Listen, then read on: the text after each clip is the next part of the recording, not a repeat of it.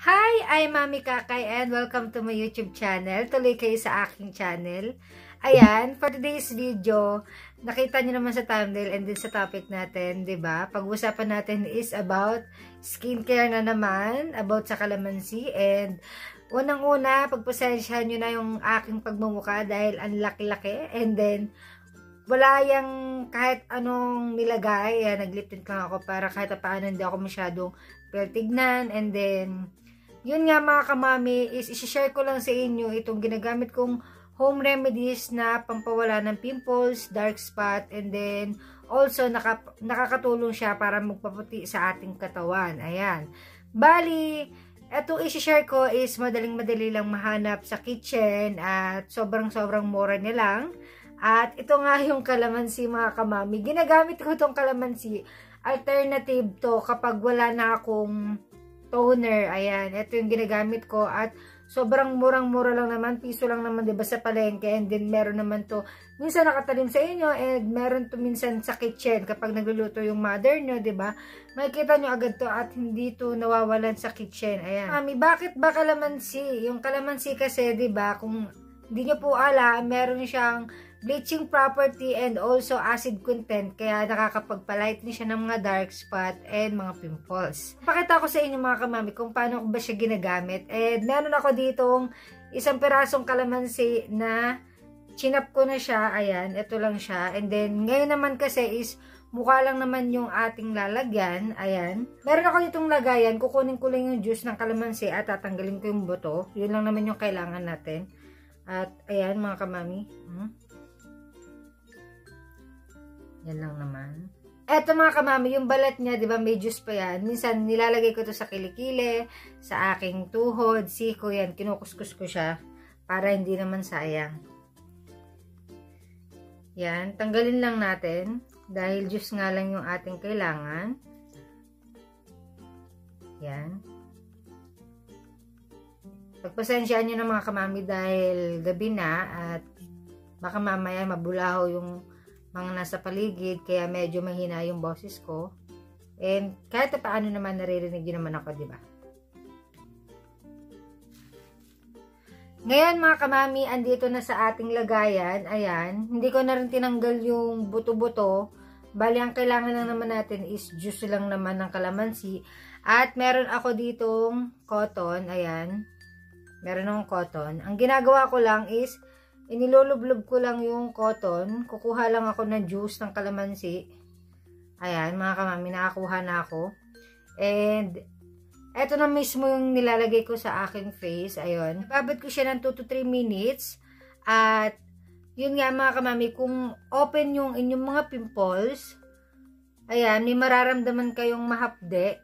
Ayan. And then, Kapag meron kayong mismong pimple marks and then dark spot, ayan, kumuha lang kayo ng cotton buds and dun lang mismo sa may pinaka-pimples nyo ilagay yung kalamansi. At ngayon, mga kamami, may mararamdaman kayong something makate sa inyong muka, ayan, kapag gumamit kayo ng kalamansi. Pero, yun nga, mag-patch test muna kayo kung talagang sensitive yung inyong face. Kasi, ba diba, mahirap din naman kung hindi hiyang sa inyo yung kalamansi. Kahit sabihin mong organic or home remedies lang siya, minsan kung hindi talaga pwede sa skin nyo, is huwag nyo nang subukan. Ayan.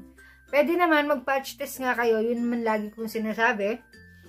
Para, ba diba, maiwasan natin yung mga irritation, ayan, lalo na sa face natin gagamitin. Medyo manipis lang kasi talaga yung face natin. Ayan.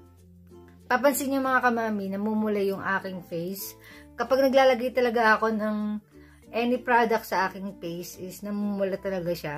Kung may mararamdaman kayong katikate or itchiness, ba? Magbanlaw agad kayo para maagapan niyo yung pagkate at baka mamaya magsugat yung inyong face. Ayan. At ako, binababad ko lang talaga siya ng 2 to 3 minutes kasi nga meron siyang acid content. Yan. And then, yung face natin is manipis lang siya. Ayan mga kamami.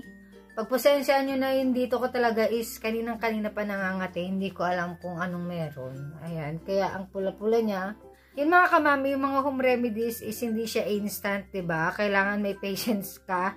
Kung gusto mong magpaganda ng halagang piso lang, And sobrang effective talaga nito mga kamami dahil kahit i-research nyo siya, yung calamansi is meron talaga siyang um, acid content and also may bleaching properties talaga siya kaya nakakapagpalighten talaga siya ng skin. Ayan. Ito na rin talaga yung ginagamit ng mga kanununuan natin, 'di ba? Nung wala pang mga gluta-gluta and then wala pang mga kojic-kojic. Ito talaga yung proven and test na talaga na effective na ba nakakapagpaputi talaga. Before mga kamami, talaga sobrang sobrang dami ko talagang pimples. Ayan.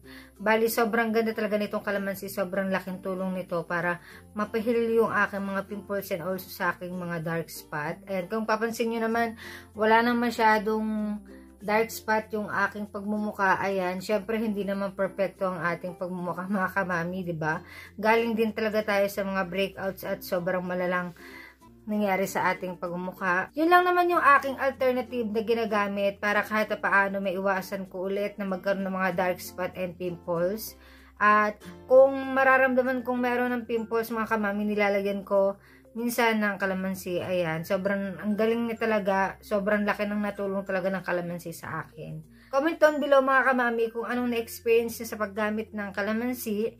At dito na lang natin tatapusin ang ating video. I hope na nakatulong tong video na to sa inyo para 'di ba makahanap kayo ng home remedies na halagang piso lang na makakapagpalighten at makapagpawala ng inyong pimples, makakapagkaputi ng inyong mga dark dark da, uh, at makakapagkaputi ng mga dark dark dark dyan sa inyong katawan. Maraming darks yun, di ba mga kamami? Maraming maraming salamat sa mga sumusuporta at nag-subscribe ng aking channel. Kung hindi ka pa na-subscribe, don't forget to click the subscribe button and hit that bell beside para notify ka sa mga videos na aking i-upload. At always remember mga kamami, sharing is caring. Maraming salamat. See you in my next one. Bye!